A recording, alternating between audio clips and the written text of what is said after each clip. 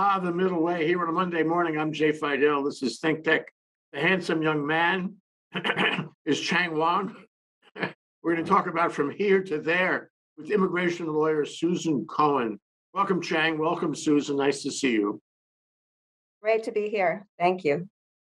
So, uh, Chang, can you uh, introduce Susan and uh, try to be fair about this? Because immigration lawyers, they get a bum a bum rap these days. Everybody always says there's no more immigration law. How come there are immigration lawyers? Good point.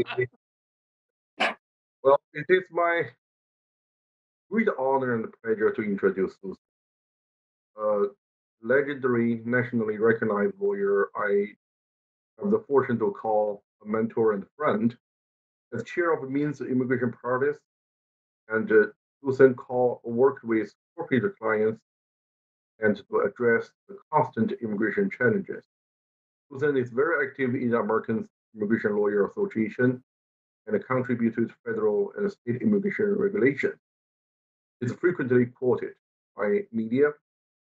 He's an editor of Mintz Immigration Law blog and recognized as top author of JD Supra.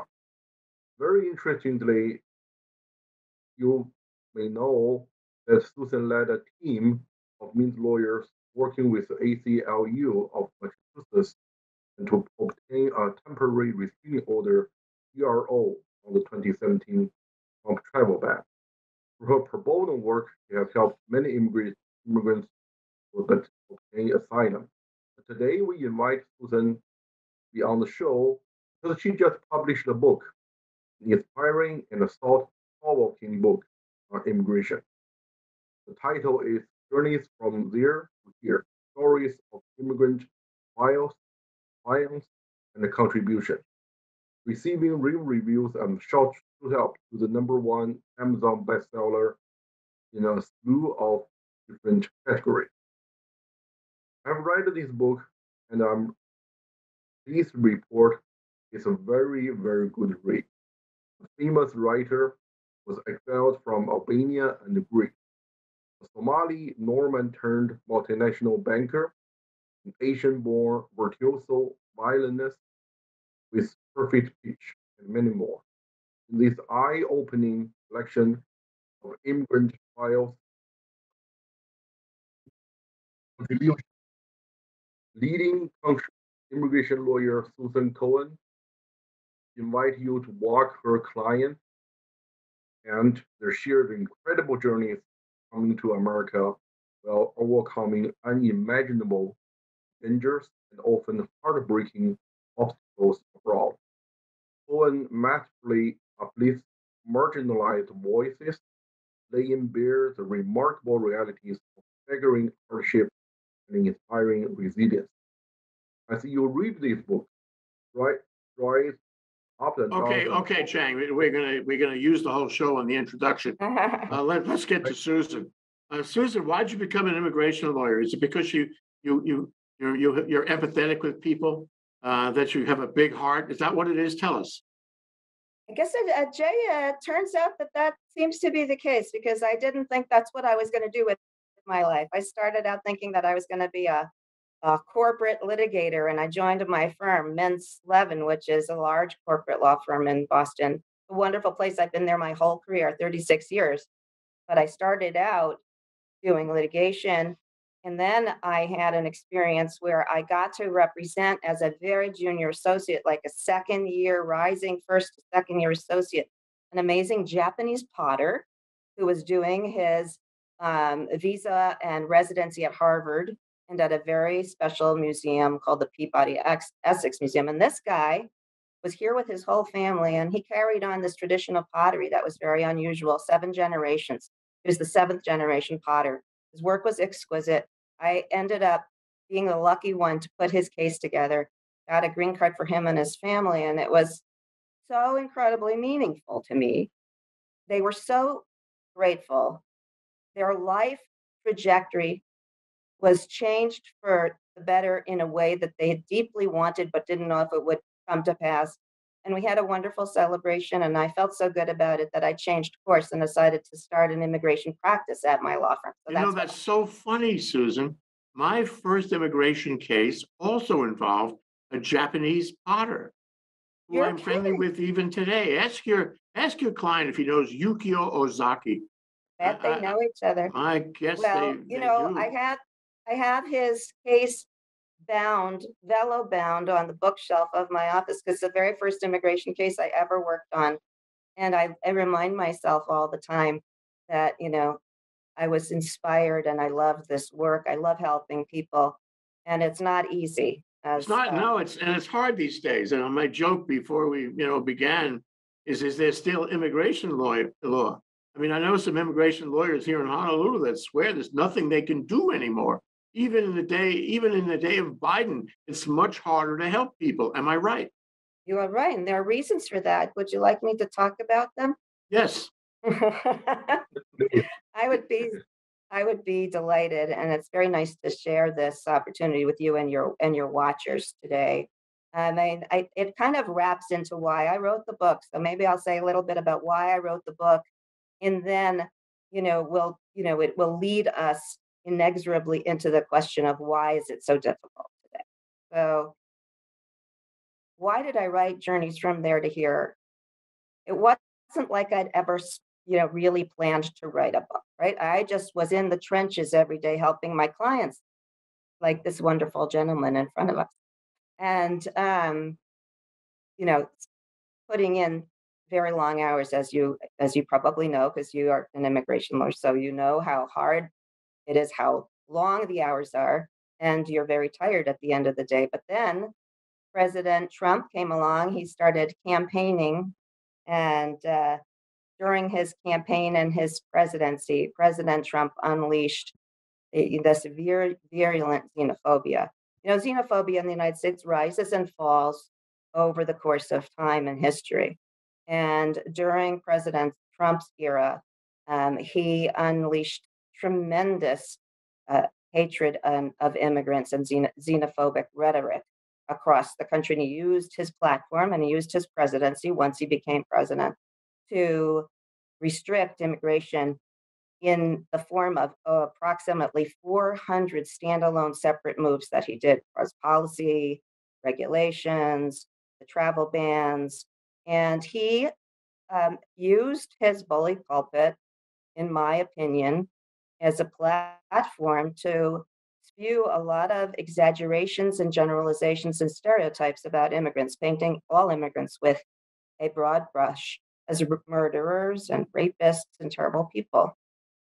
Um, you know, in light of that, even though I was working so hard trying to help people after President Trump got elected, because it became so much harder for immigrants after that, um, I decided that the only way to counter that narrative that narrative of, of fear mongering and painting all immigrants with one broad brush as terrible people was to try to showcase the human face of immigration by delving into individual stories of wonderful people that I picked for this book who are representative of so many other thousands and hundreds of thousands and millions of immigrants to the United States. It's a it's a large, you know, sort of uh, representation across the, the book of all the different people that are featured to give the public insight into how hardworking, how wonderful immigrants truly are and what they bring to the country, how much they have to overcome before they even get here, the stuff they're made of, the resilience, the strength, the creativity. Give me your tired, Yeah. masses yearning. I wanted to celebrate our common humanity and, and have people walk with each of these people through their journey to create a bond and to show. And the only way to counter stereotypes is to tell stories. So it's a storytelling exercise. Look at each of these people and what they what they had to overcome to get here and how incredible uh, their work is and how much they're benefiting us and how we, you know, we're lucky that they, they're here. And so really the book is about a celebration truly a celebration of immigrants, and we need to remember that we should always be a nation of immigrants. So it's an uplifting book, right, Chang? Don't you think it's an uplifting read at, at the end of the day? You go through some dark passages along the way in each person's chapter because many of the reasons they fled and came were dark reasons, you know? I don't want to give too much away because I hope people will buy the book and read the book. All the proceeds are going to charity. to Oh, a- good, good for you. From there to here on Amazon, eh? Yeah, thank you. So, but you know, so I really mostly wanted wanted to have something for people to read that would make them feel good. And there's so much bad news these days. There's so much bad news, not just in the immigration sphere, but you know, we wake up every day to pretty discouraging headlines. But when you pick up the book, you feel good about the country. You feel good about the principles of immigration, and and you know that you know immigrants really make our Well, I country. ho- I hope it, uh, by the way, somebody's got a typist nearby and that sound is getting on our, uh, on our soundtrack. I can hear But I somebody wanted to, typing. you know, Jay, to your question, you know, how, wh- why things are so hard now. I also wanted to shine a spotlight through these narratives of the downsides and the flaws and the faults in the immigration system and the way the immigration laws and the system are, is administered by different agencies. It's agencies. true, but I'd like to, I'd like to lay an environment first though, Susan, and that's this. Yeah. You know, this country with the Statue of Liberty and the, and the, and the poem um, about, um, what was her name? Emma Lazarus, you Yeah. know? Um, the, the, the, the, Great Colossus, I think the poem was called. Yes. Um, you know, it's, it's the, it's the, the definition of the country. And indeed, you know, from an economic point of view, it has made the country over a couple hundred years great. Um, and of course, this isolationism, nationalism, xenophobia doesn't, doesn't help going forward because we, we lose the prospect of that going forward. Um, and what I, what I think though, ultimately is a, where we, our immigration laws need to be reformed, and I'd like to ask you about that. I had a friend who served uh, as counsel in the House uh, Immigration Committee for a lifetime, and he waited and waited and waited for immigration reform, and it didn't really happen. Uh, you know, I suggest to you that we, we need that. Um, Yes. But the other thing is, and, and this is really important, borders in our lifetimes, in the past decade even, have been dissolving. That's before the, the migrant issue happened in Europe, but until the migrant issue happened, um, until nationalism reared its head, uh, borders were dissolving. And, and I suggest to you, Susan, that in the future, borders may dissolve even further. And we may find a, a, a borderless world. And in many ways, it appeals to me, although, you know, Trump's claim that, that terrible people slip in. Um, bottom line is that um, aren't we ultimately looking for a better world, a world without borders, a world where immigration law is very mm, kind and gentle? Aren't we looking for that? Well, that's a very lofty and noble goal, Jay, and I agree with many of the thoughts that you just referenced. I don't think it's going to happen in our lifetime. Um, and in the meantime, we are dealing with borders and we are dealing with officers that, you know, are not always very kind and don't always administer the law equally to everybody coming across the border. We have people fleeing from, you know, fleeing from horrific, atrocious situations where their lives and their families' lives are in danger. And while we still have the system that we have, you know, our job as lawyers is to at least try to make sure that the law is applied equitably and that when people take advantage of people that we're lucky enough to represent, that we stand up for them and we fight them tooth and nail to make sure that the Constitution is upheld and their rights are protected. And, you know, that includes asylum seekers, you know, and, and it's really, really important that we get the borders back to a state where people are admitted to be able to make a, at least make the case about why they're requesting asylum and not, you know, my short-term goals is to try to to fight for for anyone who comes to me for help and and not just on an individual basis but in a in class actions and all the federal court let you know litigation that I try to do to protect large I thought you wanted to get away from litigation, Susan. yeah, well, certain at certain times it feels pretty good. I, So, you know, I'll I'll sue the government. I don't have any hesitation in suing, you know, the Department of Homeland Security or the president by name if necessary to make sure that my client gets what he or or she deserves. so are there cases, Susan, where you say to the client, you know, um, I, I don't think you're a terrible person, but you're not a good enough person that I should represent you and you'll have to go um, to someone else to help, to help you? You have those kinds of situations too? That's a great question, Jay. As a matter of fact, I've had some cases like that where I wasn't sure if the person in front of me was the kind of person that I wanted to, re- to represent. And, you know, as Chang alluded to, I kind of get a lot of inquiries all from people all over the world because fortunately I've developed a reputation. And sometimes I get agents uh, representing dictators contacting me. I don't take those cases, uh, as you might imagine. Uh, I once had someone who worked in the, you know, in the, the Serbian uh, Croatian war uh, in a concentration camp and swore to me that he didn't persecute or harm other people, but I wasn't sure. And I actually paid for the lie detector test of my out of my pocket and had him take a lie detector test, which didn't, and the results didn't satisfy me, and I declined to represent that person. And, and there have been a few other people whose names I can't mention, but they're very common, well-known people who have been on the front pages and I have declined some of their cases as well. But most of the people, I try to find a way to help. I mean, if I if I believe in them and their cause, and you know, if they're hurting and they can't, and they've tried everything, and they've had other lawyers, and no one's been able to help them, that tends to be the cases that really pull at my heartstrings. Like they only have one more shot, right? And it's either I win or God knows what will happen to that person and his or her family. So I get highly motivated to do Uh, The stakes everything are in my very power. high.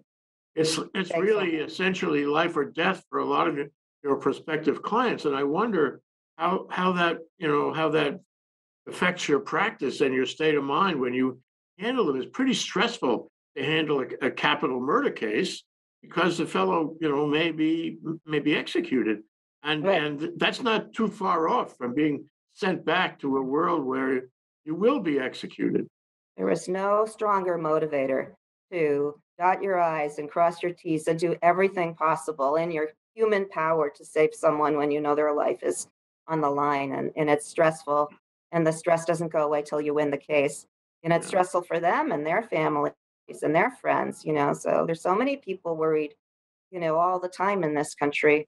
Um, and, you know, we just have to do the best we can. But I, uh, yeah, I get a lot of massages. Sure. Yeah. Well, you know, It stays in you- my, you- the stress, you know, the, the worry about my clients stays, resides in my, in my person and I have to exercise it on a weekly basis. We, we, we can, we can see. Um, before we go to Chang, I know he has questions for you. I, I do want to ask one other thing, you know? Um, back in the day, it seems my, my observation was the immigration lawyers, I mean, immigration officials were, you know, they were pretty tough, but they, they were a human being. And you could talk to them and you could appeal to them and, uh, they, you know, they would, they would respond to you. Um, in Hawaii, we had a certain amount of corruption in the immigration service, then known. Um, but you know, by and large, they were okay to deal with. Strikes me that uh, it's not just Trump; it's maybe the legacy of Trump. That right now, immigration officials are really in a different world, um, and they're much tougher. Uh, they really don't care. Uh, they're not. They're not sympathetic. Um, and in fact, uh, you know, they're they're uh, they're out to throw people out of the country. That's their um, you know motivation. And then, of course, you have a, a skinnying down of, of the, the weapons, the tools, the kit bag that is available to the immigration lawyer. Now, how does that work? And what are your favorite mm, kit bag tools these days in order to try to help people? I think you hit the nail on the head there. Uh, there's definitely been a shift, and I think it did get very much exacerbated during the Trump era because the uh, dialogue, there used to be a very uh, healthy dialogue between the immigration bar, immigration lawyers, and the different agencies within DHS, you know, US Citizenship and Immigration Services, ICE, and, and CBP. And there were liaison groups, and we would meet on a you know regular basis, and, and they'd answer questions, and we'd have the ability to pick up the phone and call those people. And during Trump, he shut all of that down. And it's it's you know the, the legacy of the Trump era is very is era is particularly severe and long, it's going to be long lasting because it takes a long time to undo a lot of what was done, all the harmful negative things that were done to reduce civility and connection between immigration lawyers and the people working in the agencies. Um, so you know, I I can now. I have to appeal to the highest level, and unfortunately for me, I'm lucky I have some access but over years of developing it over many, you know, three plus decades. Um, but you know, every time one of those very high level people that I have a good relationship with retires, is like one less person, right, that I can go to. So I I um I use the threat of media attention in a, on a very regular basis in my practice um, because you know so often the uh, the ideas that some of these agents have, but they would like to do shut down options for people, um, and the human consequences of their, you know, uh, uncaring attitude and even disregard of the actual requirements under the policy and the law sometimes um, can only be countered with the threat of, uh, you know, a big spread in the news about what the consequences would be. Right now, I have a family I'm trying to help, um, three kids, and uh, unfortunately for them, both their parents who were on the visas that were keeping them here illegally, both tragically died within a year of each other, leaving some teenage kids, three orphan kids. And you know, I'm trying to get a special status for those kids, and uh, it's called deferred action, and it will, you know, give them a chance to get back on their feet and and mourn and grieve and be with the community that they found. And if the government doesn't grant it, that's that's going to be a story in the newspaper to try to make them do the right. You know, that's all you can do. Sometimes Good. you have to Well, use the that, but that works. And I guess, um, even in these difficult times, there is a, a readership, a readership out there who reads that media report and who finds it objectionable, um, and would, you know, would, would, would sympathize with, with the uh, immigrant. I hope Yes, there is. yes, and you can galvanize a lot of public support, which can go a long way. And I've done that a lot in my career. You know, leading campaigns of public support to try to help save an immigrant who deserves to be saved and not kicked out of the country. But you know, it's Yeah. case by case. It's case by case. And you know, I had, a, I think I describe it in the epilogue of my book. One of my partners served in the Bush administration at a very high level in a very key department, executive agency of the, of the federal government, American citizen. And he was traveling at, across the border between Mexico and Texas. And he observed uh, a Customs and Border Protection officer mistreating the woman in line in front of him. And he spoke up for the woman and he said to the guy, You really should speak to people in a nicer way. You're representing the United States. You're the first, you know, face of the US that anyone sees. And, you know, you should treat everyone with kindness and respect. And the guy took my my partner, who's a senior partner in a corporate law firm, and he took him into secondary inspection. He said, You can't talk to me like that. And he stripped him of his global entry. He took his global entry away. It was a complete abomination, you know, abuse of discretion by a Customs and Border Protection agent. And my partner's a powerful guy, a very powerful lawyer. And CBP just, you know, basically, you know, took this uh, this this right that he had, which he was entitled to, which he had earned and, and applied for under legitimate process, took it away in a second. Right? You would think something like that would happen in a third, world country, right? Not in the United States. So fortunately for this guy, I mean, uh, he knew me, and I, I was able to go to the head of the global, you know, global entry department in Washington D.C., and they were horrified that it happened. But and it took still it took like four to six weeks to overturn the denial and get it reinstated. You know, like what do other people do? You know, That's an So- awful story. you got to call it out when you see it. That's the thing. That's really. You gotta talk truth to power. Um, and, and fairness and equity to power. And, and you know, it's a great concern to me, and I'm gonna turn this over to Chang now, is that over time, these stories have a way of permeating the global environment. And uh, where we used to see the Statue of Liberty and all that it stood for, uh, now we see this, this hard-nosed, uh, grossly unfair immigration service uh, that, that almost enjoys dumping on people. This is very troubling, not only to the people involved and to right-thinking citizens, but to the whole world.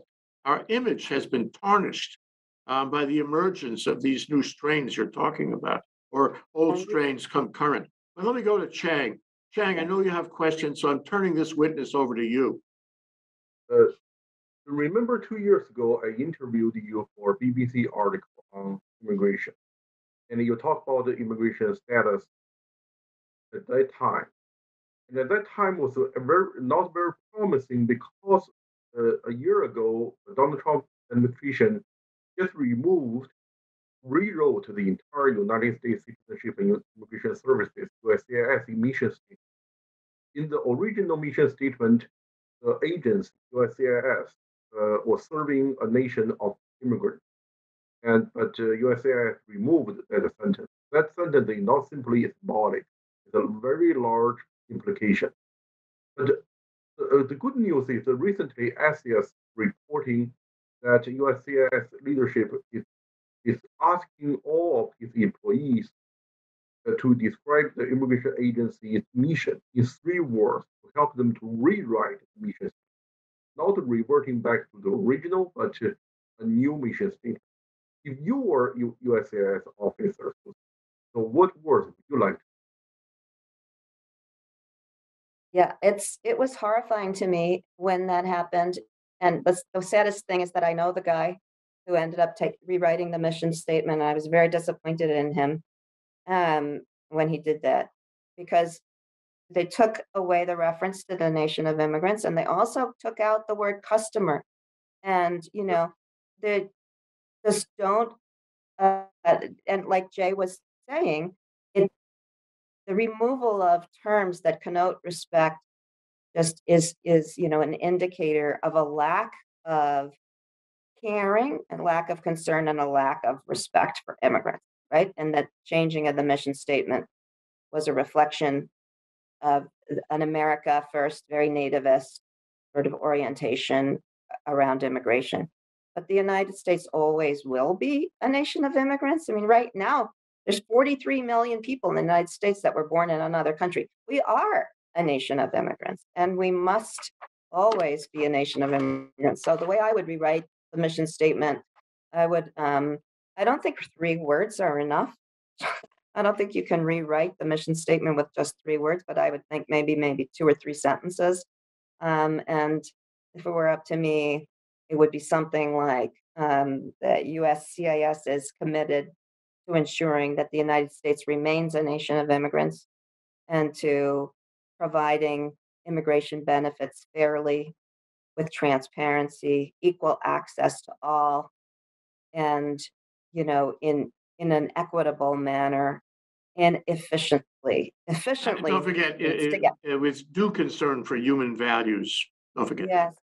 And and you know, there's so much inefficiency in in the system and it's there's so much carelessness in the system. So I think then mission statement needs to reflect an attitude that immigrants are people too. They deserve any of us could be in a heartbeat in a situation where an immigrant to another country. We have to put ourselves in other people's shoes. It really has to come down to almost like the biblical notion, you know, do unto others as you would wish people would do to you know to and for you like be treat other people the way you would want to be treated.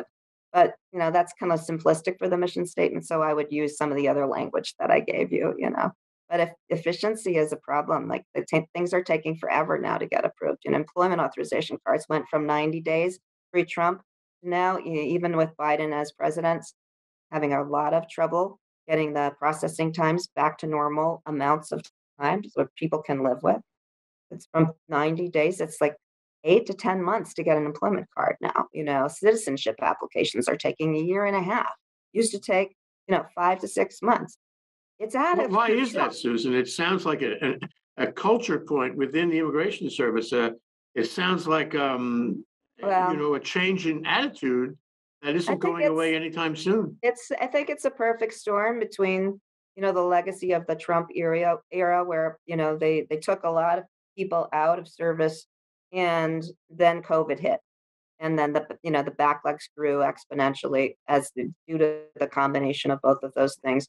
But providing more officers to the different adjudication lines is really really important. But not charging people more. People pay enough for these applications. They pay enough that they should get efficient and not careless service from the government. And they deserve it.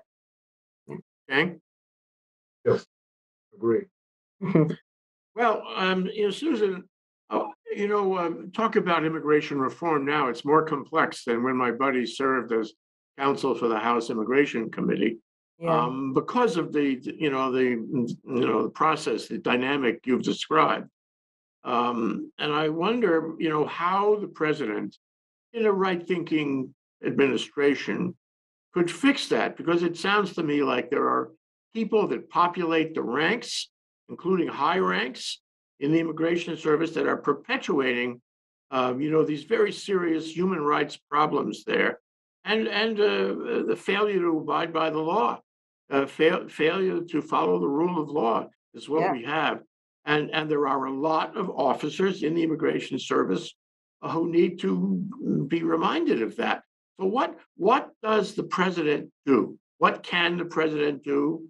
What should the president do? president sets the tone for the, for the service, for the Department of Homeland Security and for the country. And president can actually do a lot. It's, you know, I think Biden has good intentions, but it, there's so many things that have to be fixed that his defen- attention is being divided. But there's some easy fixes, easy things that he could do.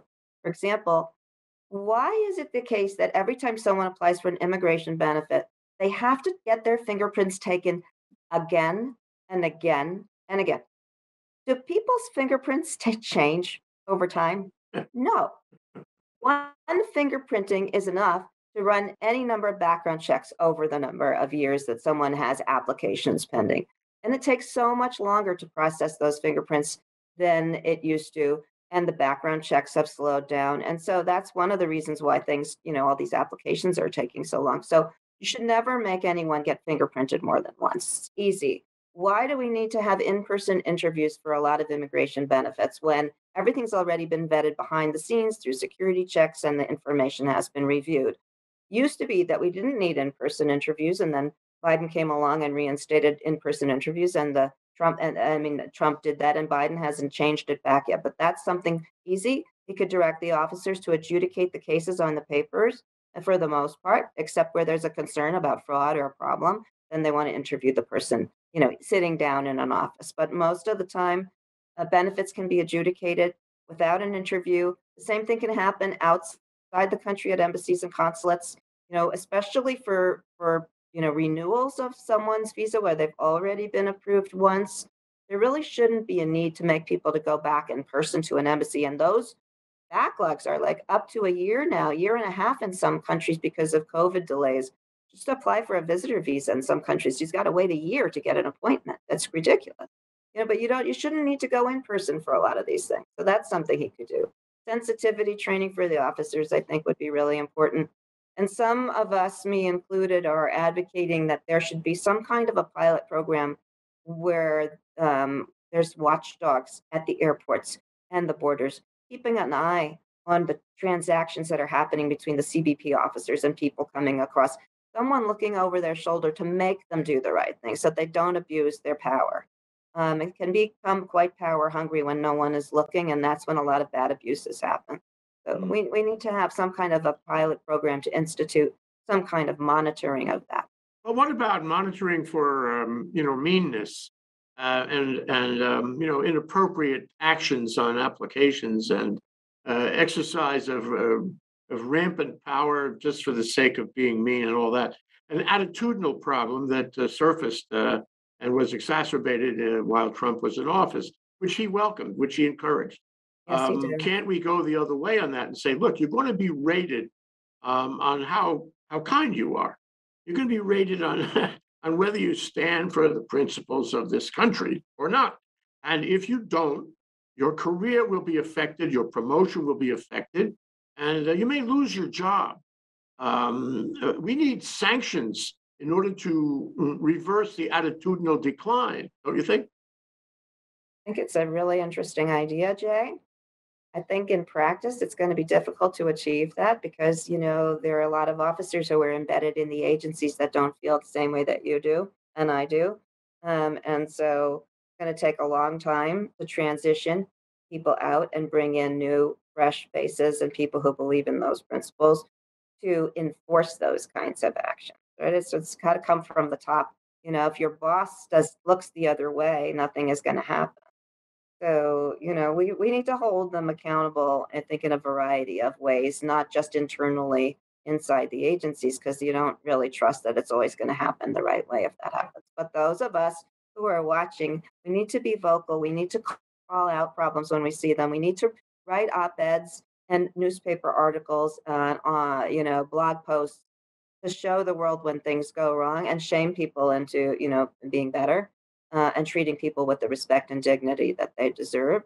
Um, because otherwise, it's just going to keep spiraling down and getting worse. So, you know, those of us who are immigration lawyers and, you know, in the business of representing clients through the immigration practice, we all have an obligation to take it a step further for people when we need to.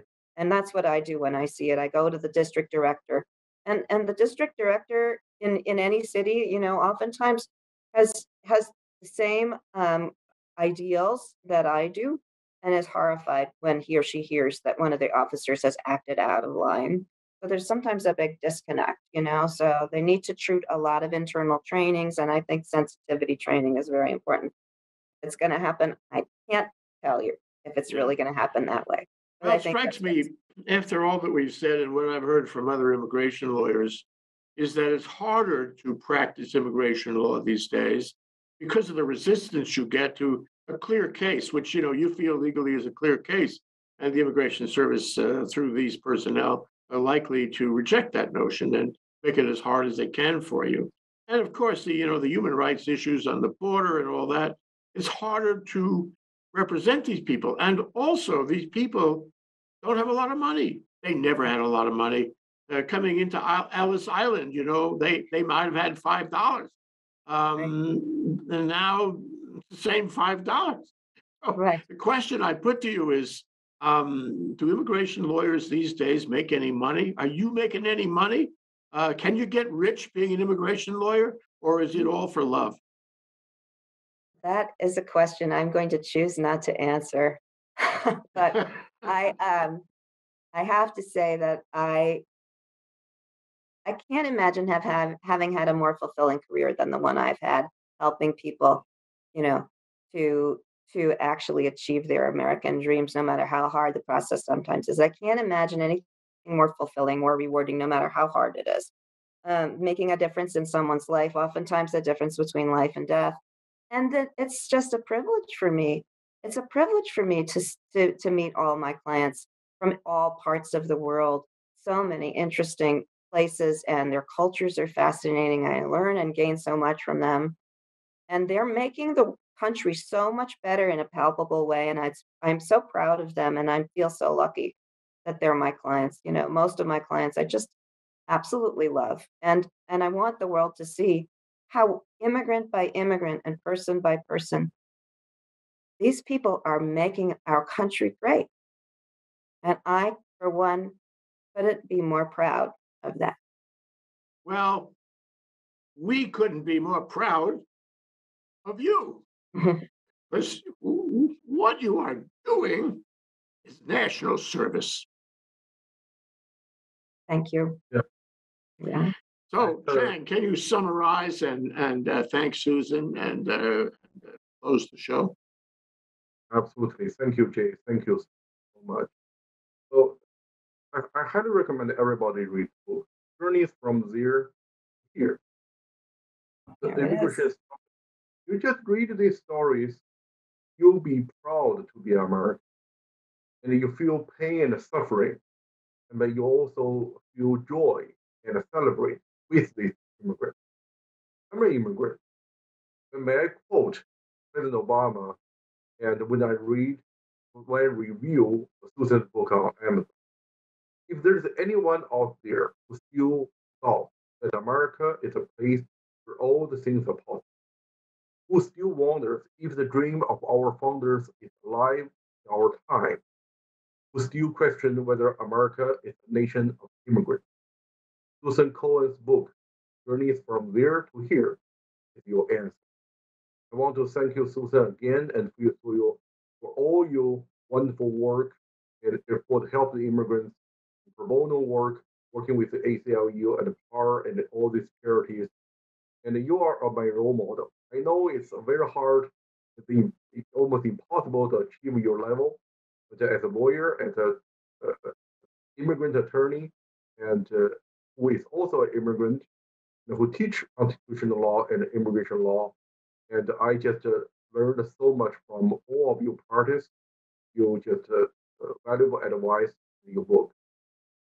And Jay, you are always my role model for years.